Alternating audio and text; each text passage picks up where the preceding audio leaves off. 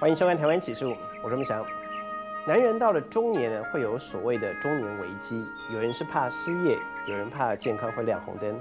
而对这位名嘴刘俊耀来说，他的中年危机就是婚姻拉起了警报。而这个危机说起来是他自己造成的。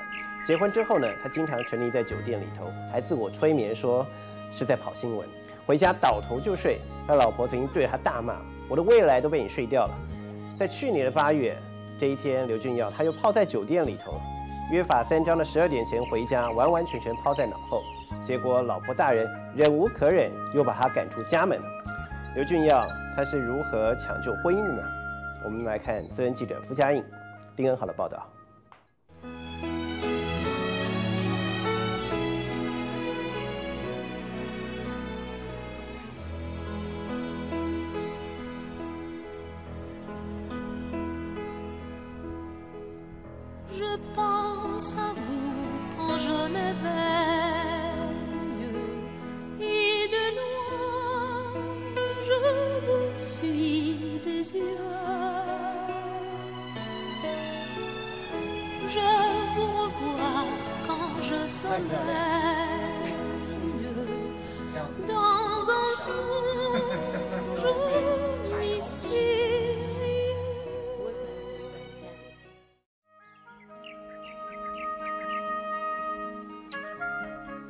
来到名嘴刘俊耀的家中，这三面两百七十度采光洒进来的光线，是第一个让你张嘴惊呼的理由。这边是我们的猫咪房。哦，猫咪有专属的哦。对，总共十只。十哎，对，十只。对，但是对对对，都还在洞穴里面。那这边是东边。哦哦哦，所以起床是看太阳。对，起床很好啊，就被朝阳叫醒。我经常被这个。这个起床的那个那个奇景啊，哇，那个真漂亮，整个天空啊是红橘红色的，哇，那个你看了都觉得说，真的应该是有上帝存在啊。浴室，浴室就还好啊，就是我们两个经常有时候在那边泡洗鸳鸯浴啊，然后重点是有浴，真的不错。对啊，你坐在这边的时候，你觉得洗洗澡有一种啊。君临天下的感觉。乔拉介绍自家像是当起了博物馆的解说员，说都说不完。全幢有九十平，这个家其实也真像是个博物馆。欧式庄园风格的装潢，这些可都是出自老婆大人之手，亲笔画设计图，亲自选材，亲自监工。这个家已经够吸引人了，我接下来看到的才是这一间三十五层高楼最大的卖点。举头望新店有远山，低头思碧潭有恋人划桨。这是刘俊耀温暖的家。他在新闻圈闯荡二十多年了，从中国时报出道，主跑社会新闻，之后转战电视圈，做到新闻部的高层主管，名利双收，美景当前，夫复何求呢？现在看到到这个 view，我会驻足下来看一下，我甚至会拿摄影机起来拍一下。白天碧潭陪你喝咖啡，晚上碧潭陪你看星辰。此情此景，心中还有何挂碍呢？以前你心里面可能就想着外面，因为你觉得家，你在都没有地方去的时候，你都你都他都在，他是你最后的一个的一个，他不会变，他不会跑掉。以前都这样想哦，可是现在我改变了，他会跑掉，他的女主人会跑掉哦。坐好，坐好，落内。前年的八月十二号，好，八月十号那一天，我是那一天被赶出去的。就那一天，喝多了，喝多之后呢，又喝太多，时间喝太长。该十二点回家，十二点是我的南瓜时间呐。南瓜时间一到，这个 Cinderella 那个灰姑娘的马车。就会变成南瓜，他就穿那种江湖味很浓的衣服，就是可能走在路上，加上他都常理平头，你也知道，应该是说走在路上，你可能分不清他到底是文化还是流氓，所以他就变文化流氓。我一看是他，哎呀，时间已经超过了，可是我又很想再再做一下，再搅和一下，啊，算了，就不要接好了，反正要被骂了嘛。我的台商朋友的手机响了，他他接起来，哎是大嫂，啊是是是啊对，我们在一起，哦抱歉抱歉抱歉，哦真的？哦好好那那我转告他。好，他我告诉我说哎君耀，你真了不起哎，你太太竟然就祝你玩得愉快啊。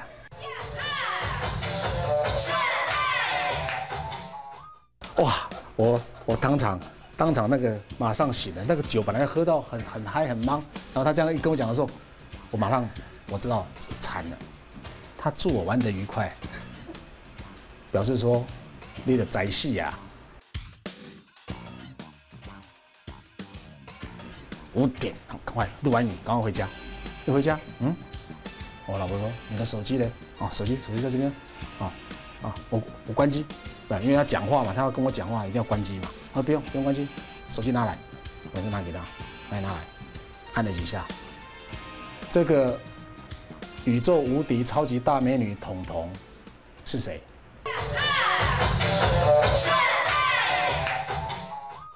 我彤彤，什么彤彤？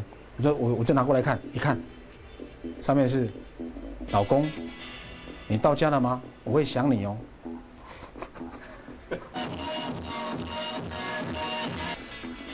我怎么想都想不起来彤彤是谁。我说啊，可能是哈，旁边那个一直跟我要电话的那一个，那个酒店小姐跟我要电话，我不给她，她一定是把我的手机趁我去上厕所的时候，把手机拿起来输打，用着我的手机打他的号码，打他自己，他就有我的号码了。然后呢，又在里面输入了他的名字，你相信吗？真的很乱用的。好吧，你相信？好，你不相信？我也好像很难说服自己。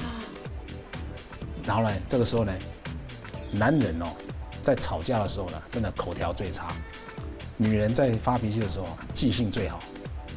他开始把以前盘古开天以来哦发生的事情，当然，那以前我实在是我也塑形不了，把所有的事情当做这个导火线，好像雷管插上去，嘣，给我出去！我一看，哎呦，这个门口啊，他把我的 notebook 都准备好了，哦，那行囊，他说，你就带着这个就可以了。我说，其他衣服，他说不用，我我明天就会收拾好，打包寄到三温暖给你。我想说，一定有转机啦。果然门开了，咔咔，开了。哦，那我马上，这个一一副非常非常。渴望，然后非常无辜、非常可怜的样子。老婆，让我回去吧，再也不会了。你知道他怎么讲吗？他说：“都三更半夜了，你再不走，被邻居看到，是你自己丢脸。”他就把门轻轻的咔嚓关上。砰！你知道吗？对我来讲啊。他虽然轻轻的关门啊，可是对我来讲是砰，因为我知道完了，他是玩真的，因为他可以这么的耐住性子告诉你这句话，他把你当成路人甲，我大概是那时候要流浪狗老刘，啊，你赶快走吧，总不可能说你的太太哦这么有艺术气息，这么 elegant，这么优雅，然后在家，因为我跟耀哥聊过。呃，他太太在家里哦，是会那种琴棋书画无所不涉的这种人哦，对不对？然后结果你能想象吗？旁边是一个小龙女，对不对？就左边这个不是杨过是什么？这个大胖子，然后每天醉醺醺的这样 这样子，你想能能那个画面能协调能看吗？是吧？所以我认为你刚刚讲说这样的有个压力，这当然是无可厚非。被老婆扫地出门，这对一个男人来说，差不多就像是被打到地狱的第十八层了吧？刘俊耀则是坐在第三十五层的家门外，心想：“此地不留爷，自有留爷处。”他以为停损点最多直到今晚吧。开始打电话给昨天跟我去喝酒的人，对不对？你总要付点代价吧，收留我一个晚上吧，对不对？开始打，哎，没人接，好，换另外一个打，哎，通了，哎，又挂掉了。我想，这不是我的妈鸡吗？妈鸡呢？妈吉应该这个时候会接起电话，然后说：“来吧，那那然后先到我这边住一个晚上吧。”没有，没有，东西拿着，好吧，就到我的老巢去了。躺进去那个太空舱睡觉，一睡觉之后呢，突然间呢，我这，哎，怎么有有有水滴下来？不是水啊，我自己的眼泪。我为什么哭？因为旁边这样子，哎，此起彼落，都在打呼啊，都在打呼。那个时候已经深夜了嘛，都快天亮了，是哇，都在打呼，吵得我根本没办法睡觉。然后我想说，哎，我几岁了？我已经四十三岁了。两年前嘛，我现在四十五岁，两年前四十三岁，我还在这个地方，还在这个地方混呢，还睡在这里。什么叫中年危机？我想中年危机这个大概就是中年危机，你的健康的状况，你跟家庭的关系，我觉得那才是真正的危机。你的后半辈子要靠谁？师傅能够娶到她，真的是，呃，非常有福气。你看我讲话速度都慢下来了，就是要表达，就是说真的。师母这个人真是没话讲，嫂子没话讲就对了啦。一个没有话讲的太太，然后呢，你自己却年华老去，身形渐趋臃肿，然后还每天呃，如果假设我说假设还终日这个呃沉迷于酒色的话，我相信没有一个女孩子能够接受得了。噔噔噔，对，打打噔噔噔，他都没有回，但是当他。回的时候，嗯，我说老婆，你在吗，宝贝？他说，当新闻记者二十几年了，从来没有写过稿子那么快的，打打字哇，赶快，因为我我怕他，对，马上不见了。在三温暖待上了几天，老婆大人终于有了回应。刘俊耀决定展开一场抢救婚姻大作战。这第一关就是把过去奉行的价值观加一点漂白水，通通扔进洗衣机。以前我觉得说，我到酒店啊，到深圳场所去是理所当然的事情，因为很多事情都在那边解决嘛。很多政商名流，我的新闻对象都在那边呢，邀你去，我当然去啊。那我现在难道不跑新闻了吗？我还是要去跟人家联络啊。但是我我我去不要去？我两年没去了。在新闻界有一句老话，最没新闻的地方就是办公室。所以当有菜鸟敢坐在办公室里，的长官早就把你吼出去了。过去刘俊耀奉行这套准则，并且扩大解读。他说，最有新闻的矿场，肯定是最乱的地方。那时候都认为说，我们要有这样的 m a g i 有就这样的那种啊，男人的 man's talk，有这样的交情那种基础，然后才会比较大家能够畅所欲言。未必，他只是给你 hold 住。哎，我跟你好像有一点关系。当事情发生的时候，他代表公司来告诉你说：“君耀啊，这个事情不要报了，不要你写的都是社会应该知道的公理、正义，或者是他们的弊端。那你的心里面要不要挣扎？这个就是我们在酒店里面的目的呀。他的目的各取所需，大家好像买一个保险，他再买一个保险。那我我只是吃吃喝喝这样子。你现在去，我现在去回想的话。”这有需要吗？原来以前以为最有新闻的地方，就是一个保险拍卖会场，每干一杯像是喊一次价。而当自己年近半百，不再宿醉时，打开投标箱，猛一看才发现，原来只有自己一个人投标。我比方说跑过正太级的那些像独家于峰自杀案的这些哦的独家新闻，或到跑到大陆的九六年导弹新闻的这些独家，哪一个是从酒店喝出来的？没有吗？没有吗？因为没有啊，所以你要我说硬要说把，因为在酒店里面跑出什么多大的新闻，我说不出口了哈，因为我没办法自己去认同这样的一种方式。因为人生是自己跟自己的竞标，但没有人猜得中这底价是多少。刘俊耀决定要痛除三害，跟过去的三个老朋友烟酒、肥胖和损友。一刀两断。你看，我抽烟二十八年，喝酒喝二十八年，每天这样子熬夜，这样这样子混。我那时候的健康检查报告，其实我自己是不太敢看。有一次哦，验尿酸比一般人正常是七吧，哦还要高了。有一次验出来十一，我一看，诈骗集团，丢掉，把揉把那个报告选择不相信。我选择不相信。戒烟、戒酒、戒损友，这三害中的这两害已经很难戒了，何况还要从四十岁最胖时的九十六公斤减到现在的七十五公斤，能够甩掉二十一公斤。二十一公斤要减重啊！如果对一般他很肥的人，他只是因为胖而已，我觉得他很难减。可是对我们这种，我们的肥胖的原因是来自于我们的生活的肥类，那你要把那个因素拿掉，拿掉之后呢，你体重自然就下来了。对刘君耀来说，减肥他能够说出一套 SOP，但若真要他说，大家恐怕听了还是左耳进右耳出。而他接下来要说的，才是真正的减肥心经。我工作完之后，我一定回家。我回家干什么？我单单坐在这里，我都觉得人生夫复何求？就是这个这样子够了，不会不会再像以前会觉得说啊，好像以前比较好高骛远。老婆就像是一台抽油烟机，抽掉了刘俊耀囤积在心上四十五年的卡路里。如果你曾经在那个浪头上面过了，我是曾经中箭落马下来的人，所以心态你慢慢也会做一些调整。可是有一个最最让你觉得你一定要，就是你不能失去的，我这种是健康，回归家庭的这个强烈动机，这个动机可以支撑你所有的要做的事情。所以我说减重啊，减肥对我来讲是最简单的事情，最困难的是怎么样重新赢得你在你的另外一半的尊重跟信任。还有对你的爱，看着窗外的美景，那是人生这样一层一层盖上来所有累积，万丈高楼平地起，而摧毁也只在旦夕。外人以为最难的，对刘俊耀来说则最容易，因为肉是长在身上，减与不减自己可以决定。但情呢？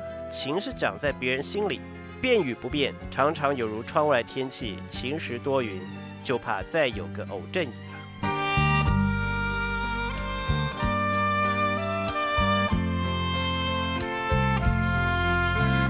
刘俊耀现任妻子陈欣是他第二段的婚姻。他和前妻呢有一个女儿，而刘俊耀从小是来自一个单亲家庭，没想到最后自己也让女儿成了单亲孩子。他对于女儿是有所亏欠的。当前年老婆受不了他每天醉生梦死，把他赶出家门之后，他意识到自己不能够再离第二次婚，于是他展开了抢救婚姻三部曲。他要怎么做呢？他要除三害：戒烟酒、戒损友。还有戒肥胖，我们继续来看资深记者傅家庆、丁恩豪的报道。这张照片是四十岁的刘俊耀，挺着一个大肚子，体重有九十六公斤，只差四公斤就要创下三位数的记录。如今再看他，体重七十五公斤，是怎么让自己甩掉二十一公斤呢？每天赶通告，以前刘俊耀肯定三餐老是在外，现在上节目聊健康，刘俊耀他也身体力行健康守则。随身携带这一包爱心的便当，打开一看，这都是老婆算过热量的美味。另外一半我中午已经吃掉了，中午已经吃掉了。好，那这样变成什么样？你的午餐跟晚餐就是三明治，对不对？是。哦，真的。那这样这样看，这样看看得出来吗？还是要还是拿出来？呃，都可以。其实这样子这样子就就好了啦。你看嘛。哦。我这边有，这个是肉松、番茄跟小黄瓜。蛋跟 cheese，cheese，好，cheese，对，钙质很重要，好不好？还有的梨子，哦，还有最重要这个，芭拉，哦，水果很多，所以水果很多了，水果。那芭拉是我每一天一定要吃一个，而且是在晚餐前。哦，嗯，晚餐前我就会把这个芭拉吃完，这样我的晚餐就会吃的少一点。哦，晚餐吃的少了，你就。你就会那个热量，所以我我的书里面不是一个倒三角形吗？对对。黄热量黄金比例，早餐吃多一点，中餐吃少一点，到晚餐一定要吃最少。所以晚上基本上我都吃这种没有热量。是全部是晚餐加？No No No No，就是吃它再吃。我吃了它之后，我再吃它。OK。其他时间我就喝特殊的普洱茶。普洱茶。对，好。茶，这个茶茶一定要经常喝。好像我。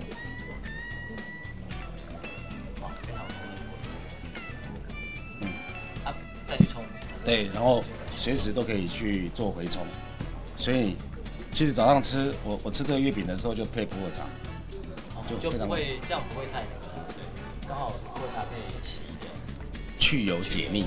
对，各位有没有发现，就是他的穿着也不太一样哎。哎，以前我们跟他一起呃共事的时候啊，他哪有穿这么阳光啊？以前比较少穿，可是我太太很爱买。我太太很喜欢，对我太太很喜欢把我打扮的像花花公子，不是啦，就是像她很喜欢买花衬衫。以前拿着酒杯的手，现在放下的是喝茶养生的杯子。杯子装酒的时候，身旁的人老是鼓吹要装满才够诚意，才够兄弟。如今杯子装的是茶，只要七分满，自己就觉得很满足了。用一个，因为我是社会记者的这样的冠冕堂皇，看起来啊，好像很正当的理由，就你刚刚讲的合理化，把自我自我合理化，然后去包装我爱去花天酒地的这个这个内涵，我觉得不公平嘛。人家也没有去花天酒地啊，我太太每天守在家里面等着你回家，她你每天出门，她把你打扮得漂漂亮亮的，啊，你就出去赚钱回来，哎，难道她没有功劳？他在一起跟我共同经营这个刘君耀这个品牌啊，他付了很多的心力，可是我却自己把它搞砸，差很多。以前看到他呢，我满脑子哦浮现的只有四个字，叫酒色财气。现在看到他呢，呃，觉得就是一个非常健康、非常阳光的中年男子，身材变了，哦，我们知道他变苗条了，精神变好了，然后呢，还有一个就是他的健康状况一旦改变之后，他的脾气也变好了，因为以前我不是说他以前脾气不好，而是说他以前比较急。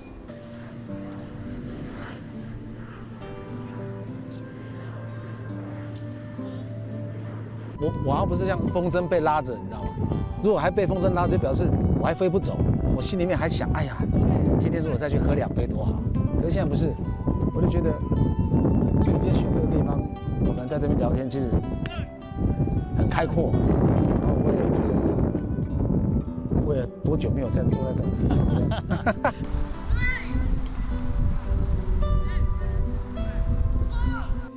以前和现在，刘俊要买房子都住在河边，但可从不曾觉得草地离自己这么近。如今才体会，芳草鲜美，落英缤纷的是迎向草地上的这片阳光，依旧闪耀。股海茫茫，有人赚钱，有人赔钱，这个中奥妙，谁能够真正参透呢？今天我们要告诉您这位证券分析师赖宪正的故事。我们的报道重点。不在于为他的财经专业做背书，而是要透过他个人的努力过程，给所有也正在为自己人生打拼的朋友们一些启发还有鼓励。一个只有高中学历的务农之子，他是如何自食其力，靠着不断的自我充实，考到了证照，在险恶的股海里头赚到他人生的第一桶金啊！我们来看资深记者艾小培和郑年的报道。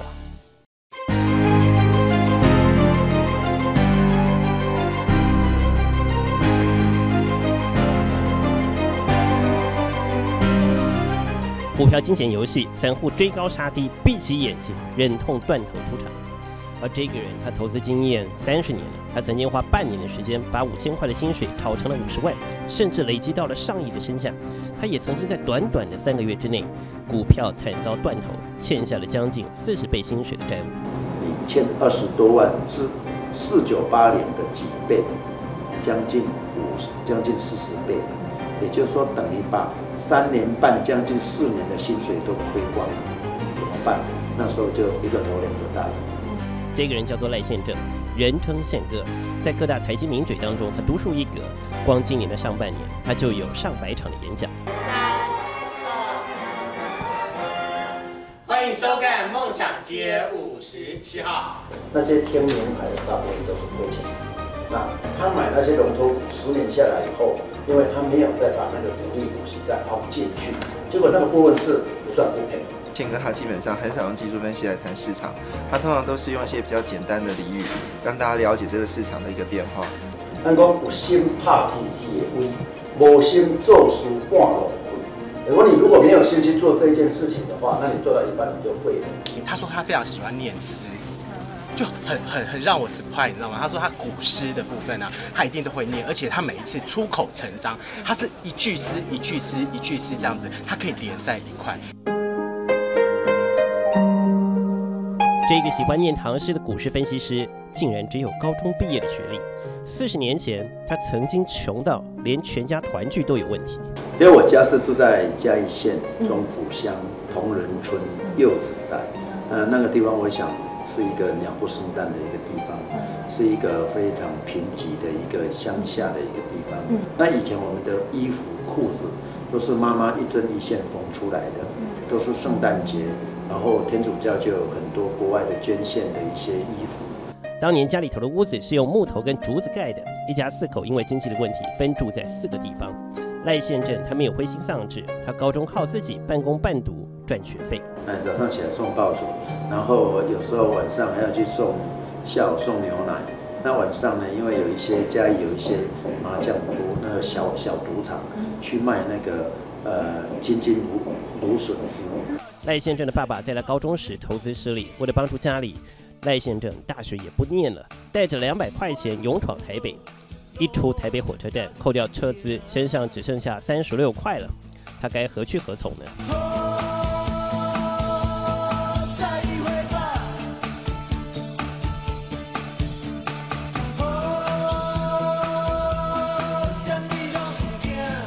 呃，我第一个到台北的一个工作就在南机场那边扛瓦斯，刚好有一个机缘，我到那个士林后港的地方，那有一个同乡在那边卖边水，那时候我就存了好几个月的钱，花了三千五百块，就请他教我卖那个果汁，然后包括那个手推车，包括一个摆摊子的位置。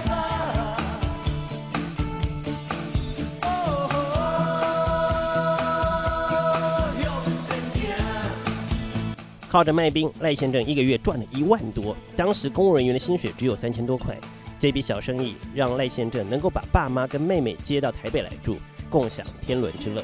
那那时候租的房子在后港的地方是那种一楼挑高，然后挑高以后，房东就把它隔间，所以二楼的高度是不到呃一百五十公分左右，所以每天早上起来，你如果不小心就会撞到头，呃，那个头发就那时候慢慢撞撞撞掉了。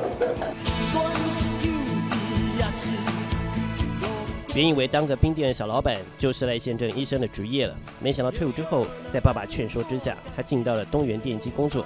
因为同事的介绍，意外接触到了股票，开启了他的另外一页人生。我就回台北，那标了一个会，四万五千块开始做。诶，我真的运气也很好，一个月就赚了四千多块，将近五千块。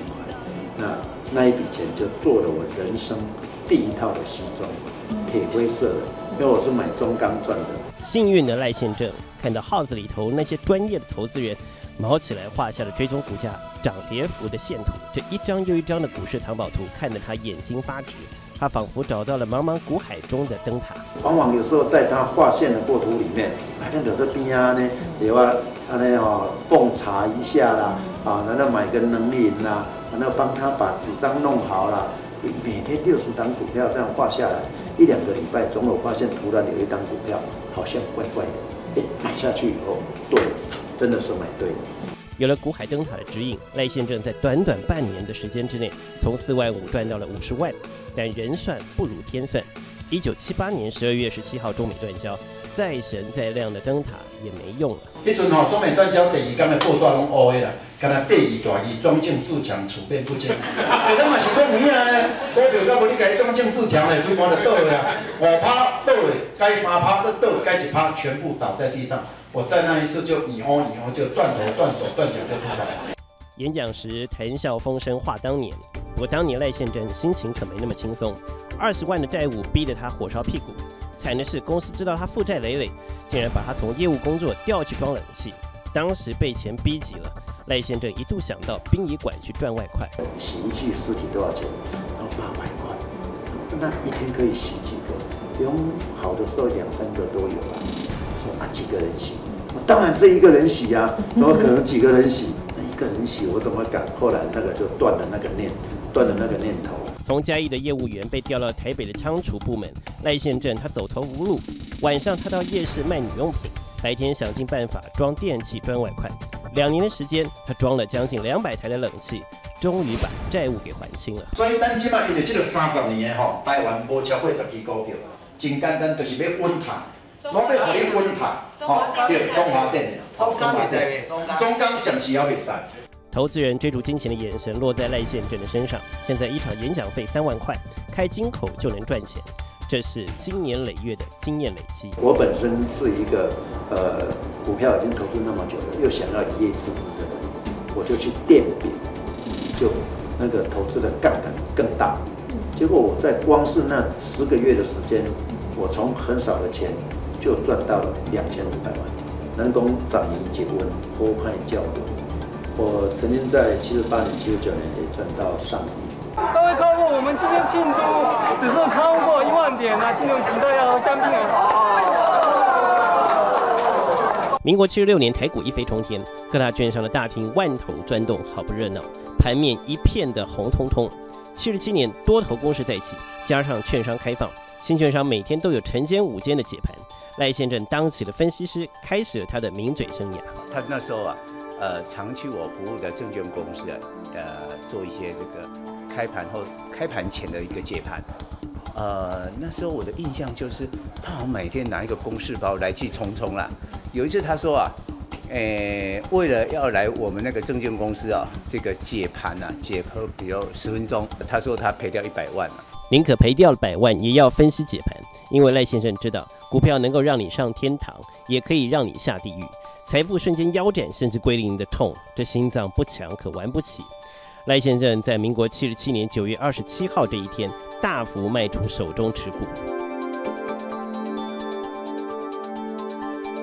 我那天几乎把所有的股票都卖光，剩下两只股票，但是所有的股票都涨停板。到三点多，我太太叫我起来，赶快起来，赶快起来，课正正守岁了。我爸，那股票下个礼拜开始要崩跌了。结果从八八。八八一三点七五跌到四五四六四五点九八，连跌十九天。那时候我就呃号召很多投资人去包围国民党党部啦，这个去包围那行政院长的家等等啊。他很年轻就投入股市了，所以他看过大风大浪，他也看过很多个股的兴衰起落，他知道这家公司过去的历史，他知道过去的繁华，也知道现在为什么会不胜唏嘘。但躲得了股灾，却躲不了错误投资所造成的财务损失。两堂四千万的课，让赖先正跌得又痛又惨。我也曾经用台北的眼光去买高雄的房地产，那时候台北的房地产都已经涨到三十万、四十万，中古屋。那高雄的房地产新屋才十二万六，结果买了以后，经过了九年的一个利息的付出，到后来卖掉以后，两栋房子就亏了两千万。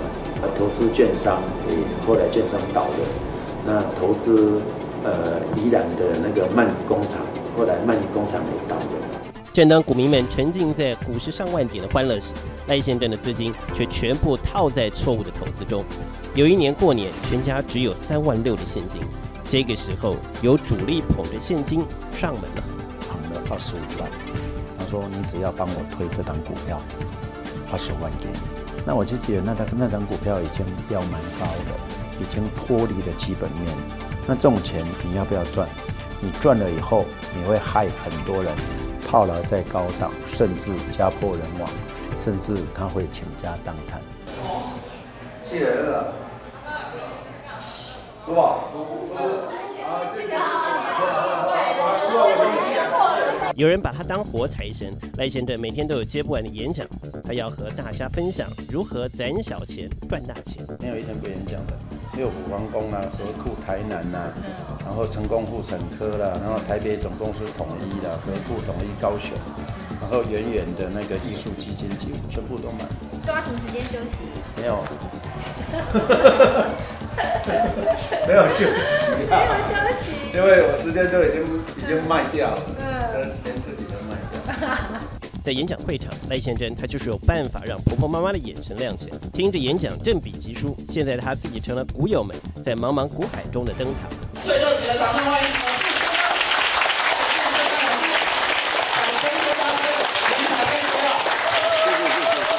我想今天股市跌了九十几点，我在坐高铁下来的过程里面，一面高铁一面往下走，股票也跟着往下走。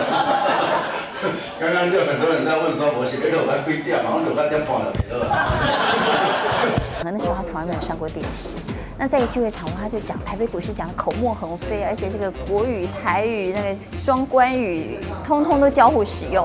我就觉得他非常有趣，他怎么能够把台北股市讲的那么样的幽默风趣？当然，咱中华民族是一个做好赌的民族，因为咱的国父孙中山伊的目标是博爱，博爱你也把颠倒当就是爱国哦，要是啦。哎呀，拜五就开始爱博，拜五直直博，啊拜五就开始。市场就分两种嘛，一种技术派，一种叫做是叫做这个基本面的嘛，哈，大概就这两个。那筹码那个是算筹码那是神啊，基本上很少人做到这件事情。但他突然出现杀出叫做那个民俗民俗派，就是用民俗疗法，不是用民俗的言语来去形容市场的景气的盛荣衰，我觉得他还蛮贴切的。二民国七十七年九二四登盘郭婉容事件，我有一个朋友买光宝。光宝买六十五块，六百十三块半，啊，毋是拢吞袂去呢。因某用安眠药食嘛无效，我也因某去买录音机，光宝涨停板六十五块，光宝涨停板六十五块，哎，安尼那可怜呢？真的是非常的亲切，他呃不是不会有那个大的分析师的那样子的一个架子在那边，所以你很容易跟他亲近。我开一间券券商是宜兰的吧？啊，宜兰的时候，我有买一台车克莱斯勒，啊，大家拢看头前。啊！等民国七十九年，阮拄规模一工拄五二零大分盘，哦，连着一个月后，我一家去公司，我咧客户讲，诶，赖老师，恁台车嘛拢开后壁，我讲先啊，迄台车开头前到后壁查下者，伊讲我逐工都看迄台车过来输咯，过来输咯，哦，我等袂掉啦，我我从迄台车去卖掉，去买一台韩国的去啊，去啊，我这样我懂。那时候我就邀请他说他愿不愿意上节目连线，他说他从来没有上过电视，他不愿意。我就给他高价跟他拜托，然后他就说不行了，我的脸很大会出框。我我不断不断的跟他讲之后，他总算鼓起勇气上了节目。我跟你讲，一上节目就上瘾了。被股友追着当成股市的明灯，投资人最想问的还是赖先生，你究竟有什么躲股灾的独门妙方呢？就你今天你发现你股票买错了，你本来看好这档股票，你买进以后三天不涨。五天不涨，很简单，绝对不是股票错。这个时候你要断然的出场，比如说十二趴到十五趴，你退出的话，那一般来讲就不容易受到股灾的一个影响。手中的股票那是跟欧洲有关系，暂时若有反弹起来，尽量减，啊，绝对唔好去加码。股票吼，你绝对袂使去逢低摊平。他也看过很多次很多次政府护盘。所以他知道护盘不会一次就护成功，就好像融资不会一次就杀干净。所以他蛮早就提醒这个地方绝对不可过度抢。过去台湾每十年都有一个大股灾，有像民国七十九年一二六八二跌到二四八五，民国八十九年一零三九三跌到三四一一，有像民国呃九十九十七年那一次的全球的股灾，从那个九三零九跌到三九五五，就这样的一个股灾，对投资人来讲都非常的伤。它有一个优点呢，它好像一个活字典，就什么事情它都记得清清楚楚。呃，二十年前、三十年前啊，因为它股市的经验有三十年。我要请问一下那个我们宪哥哈，关于那个三娘。吴宗先生很红，也叫宪哥，我就是宪哥。你现在哈对，当然他在业界不是新人，但对媒体而言，他是一个新人。我就说，你要在这个名嘴圈一炮而红，一定要取一个响当当的名字。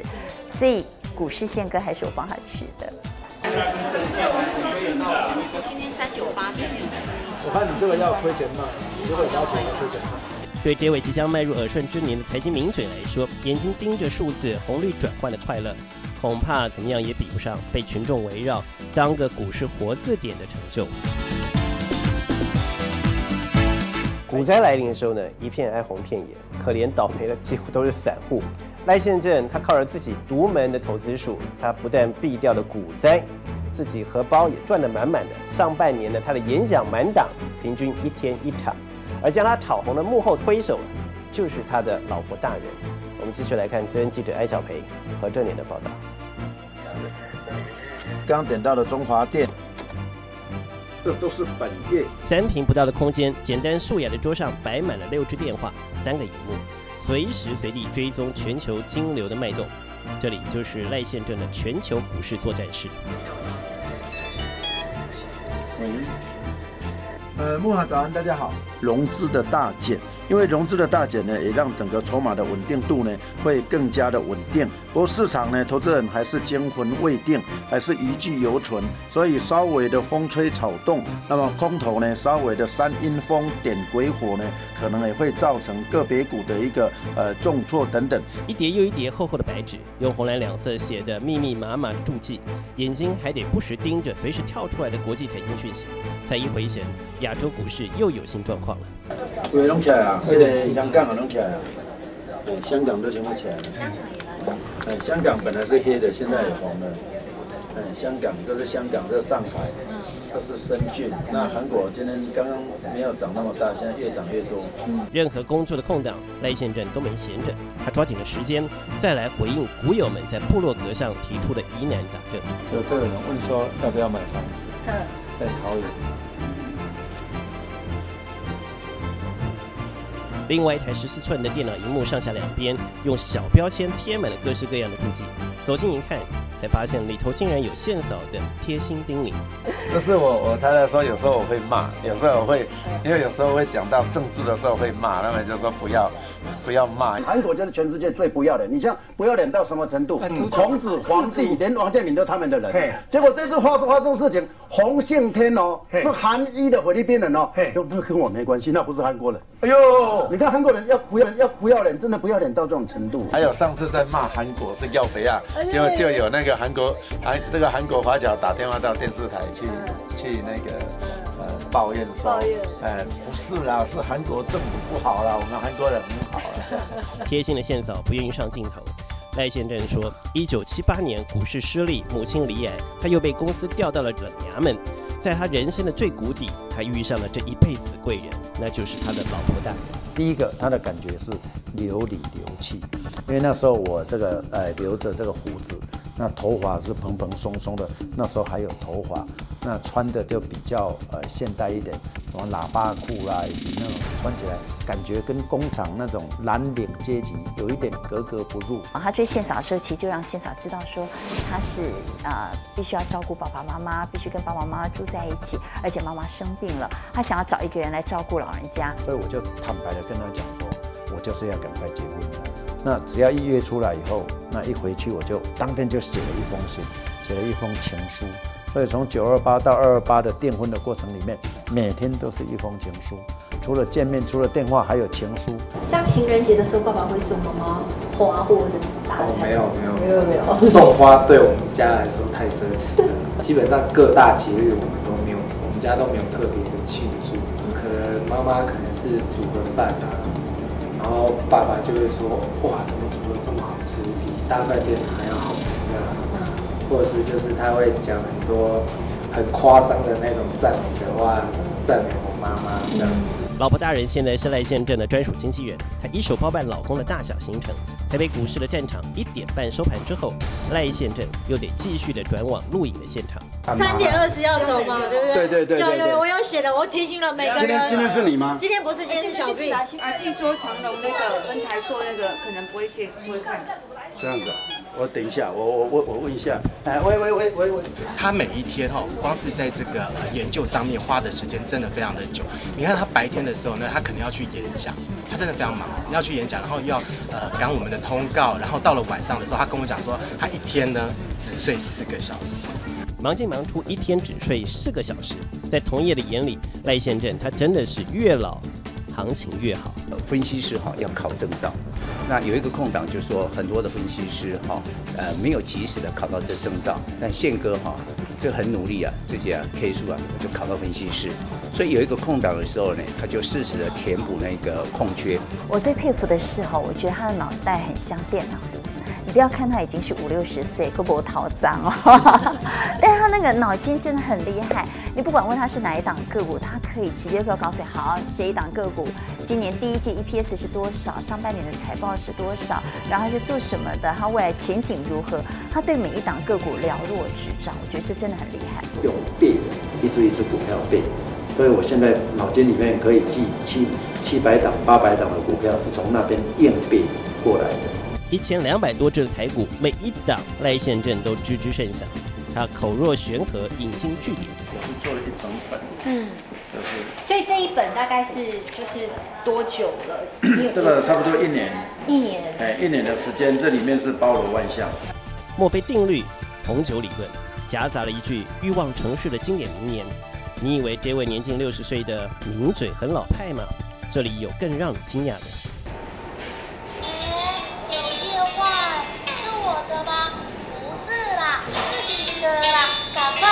电话哦。喂，有电话。那姐你有时候一响都三、嗯。三四种那个铃声都响，嗯。那万一旁边跟你一样的话，你有时候不晓得是，哦。因为我我自己的听力又比较不好，嗯。我是一个可以说是一个无可救药的乐观者、乐观主义者。嗯。我在遇到最困顿、最困难的时候，我都会自己安慰自己，我都会自己鼓励自己。在我的字典里面，在我的脑筋里面，没有放弃那两个字。